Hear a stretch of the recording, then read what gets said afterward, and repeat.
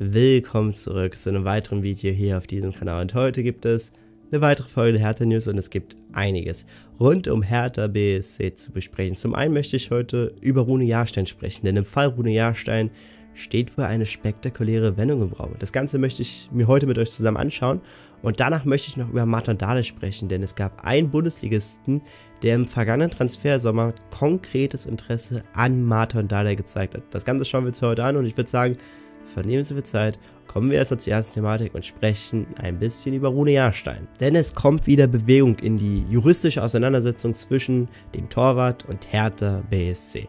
Schauen wir das Ganze aber erstmal von Anfang an an. Mittlerweile ist Rune Jahrstein 38 Jahre alt und der Vertrag ist jetzt hier im Jahr 2023 Ende Juni ausgelaufen. Ehrlicherweise muss man sagen, dass er in der vergangenen Saison keine Rolle mehr gespielt hat und das hatte auch einen bestimmten Grund. Im Laufe der vergangenen Saison hat man sich von Rune Jahrstein getrennt und man hat ihm folgendes vorgeworfen. Hertha BSC hat Rune Jahrstein vorgeworfen, sich bei einem Disput mit Tortrainer Andi Menger massiv im Ton vergriffen zu haben, weshalb Rune Jahrstein daraufhin suspendiert worden war. Man hat eine Vertragsauflösung angestrebt und nun steht man eben vor dem Arbeitsgericht. Rune Jahrstein hatte im Laufe des vergangenen Jahres natürlich auch gegen die Kündigung seines Arbeitsvertrags geklagt, denn er selber hat die ganze Situation etwas anders gesehen. Er selber gab an, dass er nur sachliche Kritik an Andi Menger geäußert hat. Das Ganze schauen wir uns gleich auch noch mal etwas genauer an, denn die Bild hatte noch zusätzliche Informationen. Jetzt auch im Laufe dieser Woche ist der Prozess vor dem Arbeitsgericht Berlin gestartet. Es wird jetzt noch kein Urteil gefällt, aber die beiden Parteien bekommen viel mehr Raum, um sich möglicherweise auf einen Vergleich zu einigen. Es soll wohl auch so sein, dass das Arbeitsgericht den beiden Parteien am heutigen Donnerstag einen Vorschlag gemacht hat, dass Hertha BSC 350.000 Euro zahlen soll, was aber noch von der Forderung von Rune Jahrstein rund 150.000 Euro abweicht.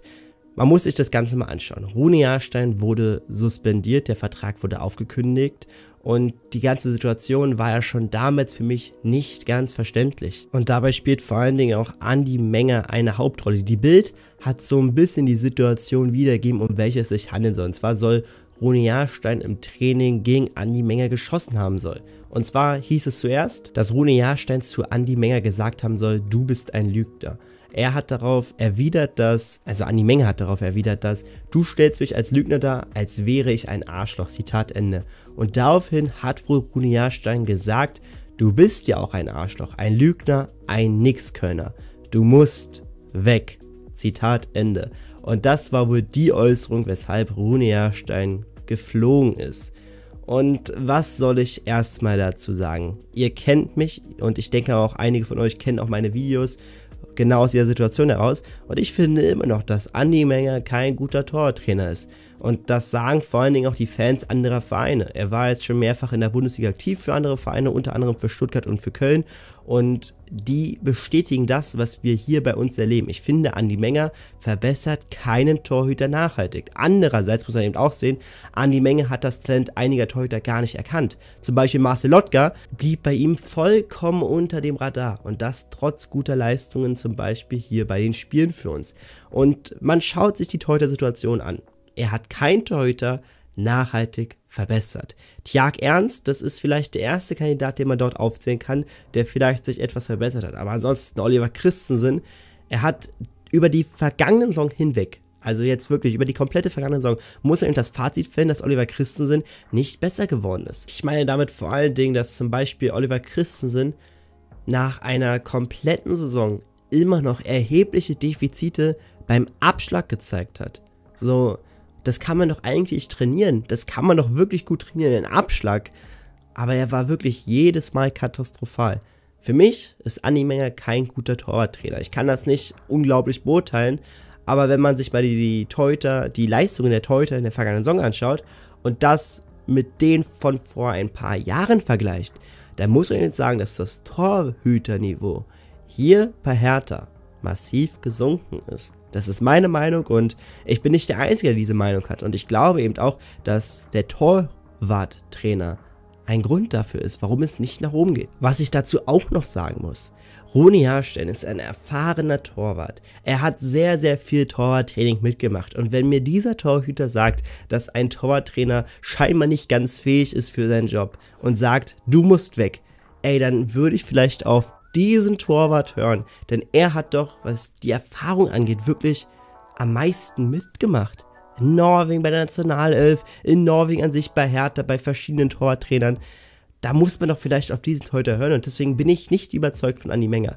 Aber jetzt kommt ja noch das Kranke, denn es steht eine möglicherweise eine Wendung im Raum. Wie die Bild-Zeitung berichtet, hat die Führung von Hertha BSC in Person von Kai Bernstein und Thomas Herrich in den vergangenen Tagen immer wieder versucht, Kontakt mit Runi Jahrstein und seinem Berater aufzunehmen. Und möglicherweise hat er auch schon ein Angebot hinterlegt, dass Runi Jahrstein nochmal für Hertha BSC auflaufen könnte.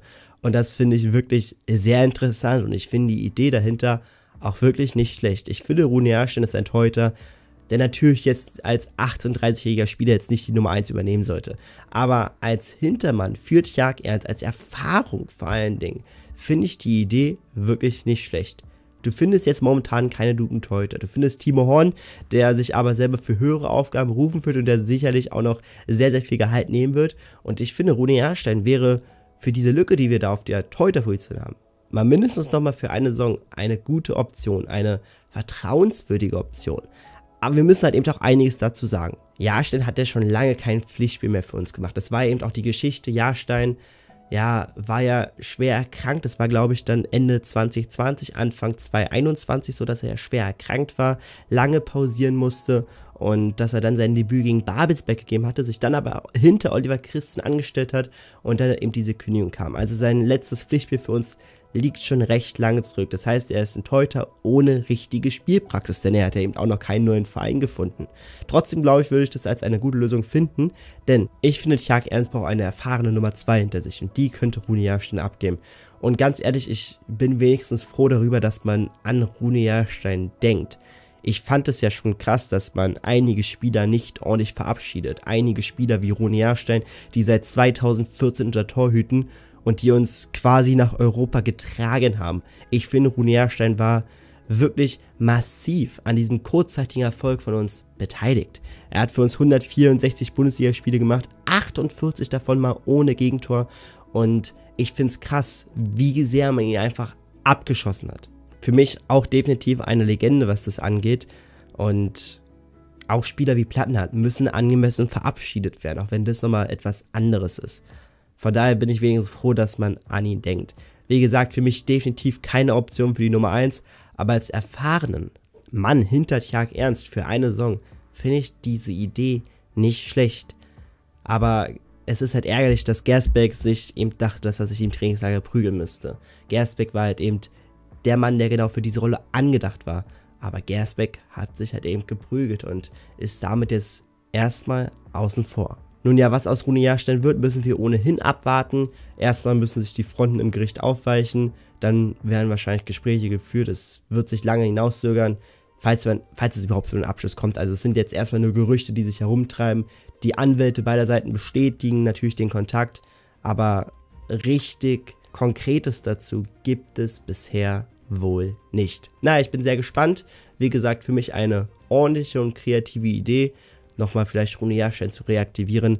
Aber wie gesagt, Jag Ernst ist für mich ohnehin unangefochten die Nummer 1. Kommen wir mal zur nächsten News des heutigen Tages. Und zwar geht es um Marton Dardai. Marton Dardai soll wohl im Transfersommer das Interesse einiger Vereine auf sich gezogen haben. Und unter anderem war er auch in Gesprächen. Und das mit dem VfL Buch. Die Gespräche waren schon ziemlich fortgeschritten und Dardai hat sich das ganze Angebot eben auch angehört. Also wir sprechen hier übrigens nicht von Pal Dardai oder Palko Dardai oder Benze Dardai, sondern wir sprechen von Marton Dardai, unserem Innenverteidiger. Ja, Marton Dardai sei wohl in Gesprächen gewesen mit dem VfL Bochum, aber er hat sich gegen den VfL Bochum geschrieben und für die zweite Liga und für Hertha BSC. Erstmal finde ich das super, dass sich ein potenziell sehr starker Spieler, ein Spieler, der wie gesagt sehr oft bei uns das Potenzial gezeigt hat, ein U21-Nationalspieler, sich für den Gang in Liga 2 entschieden hat. Das freut mich wie gesagt sehr und ich finde auch, dass Martin Dada in der zweiten Liga durchaus sehr wichtig werden könnte. Er hat sich gegen den VfL Bochum entschieden, da er wohl nicht ganz wusste, ob er sich der destruktiven Spielweise der Bochumer anpassen kann, beziehungsweise ob die Spielweise zu ihm passt. Das finde ich natürlich etwas komisch, denn wir spielen jetzt nicht gerade so viel offensiver als der VfL Bochum.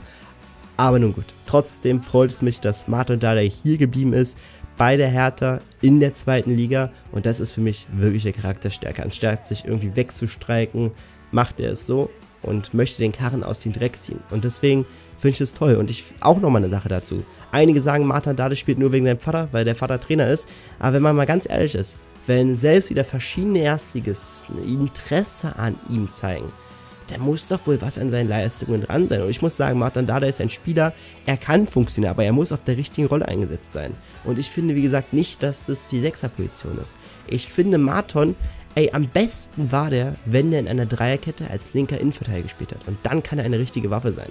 Ansonsten braucht Martin immer Spieler um sich herum, die ihm quasi den Rücken frei halten, dass er seine Stärken ausspielen kann. Er hat immer noch einige Defizite, was das Stellungsspiel angeht und was den Zweikampf angeht.